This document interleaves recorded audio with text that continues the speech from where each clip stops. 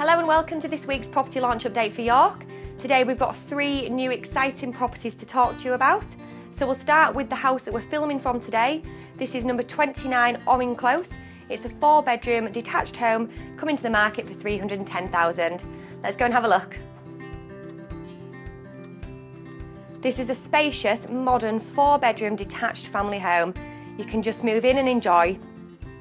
This beautifully presented family home is located in a pleasant, sought after cul de sac within Woodthorpe, enjoying a range of local amenities, highly rated schools, and easy access to the York City Centre, the Knavesmire, Tadcaster Road, the Outer Ring Road, A59 and A64.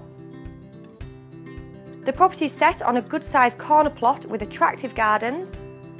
The property offers a modern family living and features a spacious lounge, a good sized dining room, stylish kitchen, a large modern conservatory, and ground floor cloaks and WC.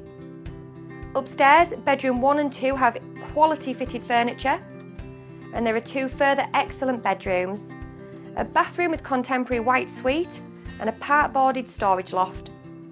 The property benefits from gas central heating with a combi boiler, PVCU double glazing, off street parking for two cars, and a detached garage viewing is essential to appreciate the space and location on offer. So the next property is number 7 Willowcroft. It's a three bed detached home coming to the market for 375,000.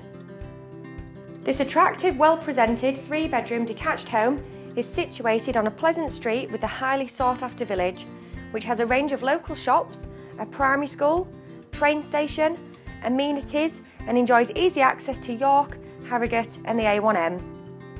The property features bright, airy, well maintained accommodation, has a stylish modern kitchen and bathroom, neutral decor, and benefits from gas central heating with Worcester condensing boiler, PVCU double glazing, and off street parking for two cars. The property briefly comprises an entrance hall with cloaks and WC, a storage cupboard, spacious lounge diner, modern fitted kitchen in October 2016, two double bedrooms and one single bedroom, a house bathroom and a garage. Outside are pleasant gardens to the front and rear and views over farmland to the rear from the upstairs. Again, viewing is essential. So the final property coming to launch is number 16 Rawcliffe Croft. It's a four bedroom semi-detached home and it's coming to the market for 290,000.